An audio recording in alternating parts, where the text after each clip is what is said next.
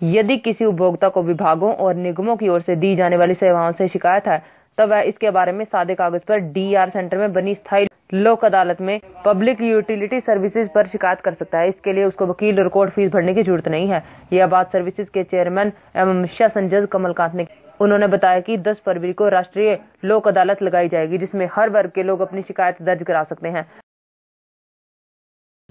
आज हमने स्वच्छता अभियान का पखवाड़ा मनाने का जो है उसका प्रारंभ किया है और उसके लिए हमने अपने सारे स्टाफ को सारे अफसरों को निर्देश दिए हैं कि कोर्ट प्रिंसिज में कोर्ट के अंदर सब जगह सफ़ाई रखें प्रॉपर डस्टबिन वगैरह हैं, जहाँ वहीं सब रखें वहाँ मतलब डिस्पोजल करें। इसके अलावा हमने प्री लोक अदालत हेल्ड की हैं। प्री लोक अदालत है।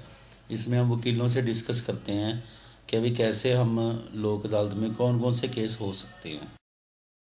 आज न्यूज़ के लिए झज्जर से सनु धनखड़ की रिपोर्ट। प्लीज़ हमारे चैनल को सब्सक्राइब करें और देखी गई वीडियो को लाइक और शेयर ज़रूर करें।